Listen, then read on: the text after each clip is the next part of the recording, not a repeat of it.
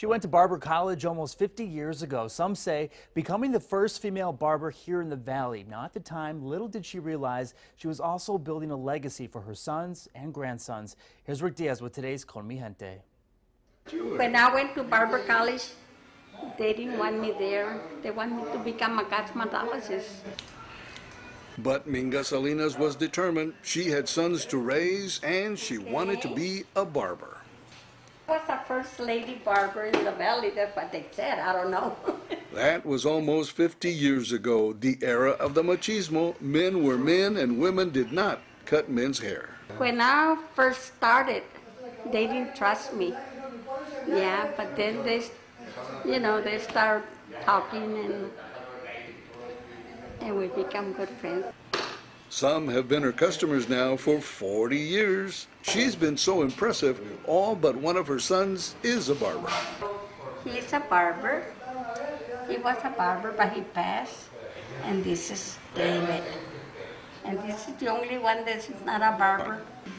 One of her sons works alongside her. 40 years. Wow. Wow. Having a good Yeah. time.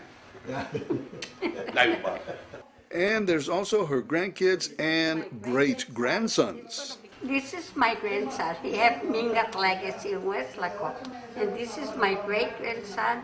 He's gonna become a, a barber also.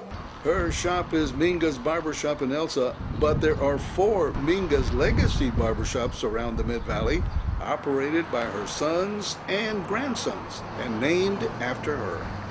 Treat your customers good and they'll come back. Y como siempre. Gracias. Gracias a ti. Yeah. Okay.